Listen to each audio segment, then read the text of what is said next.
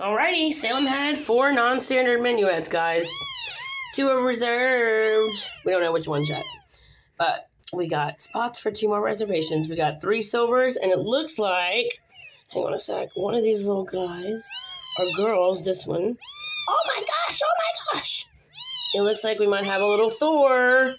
Oh look, that's a little Thor. Y'all know how those look. And the rest are silvers. So as y'all know with silvers, the dark grows out. And then the white comes in. This one looks like, see all that white? That ends up coming in. So that's it. Salem Maddox, congratulations.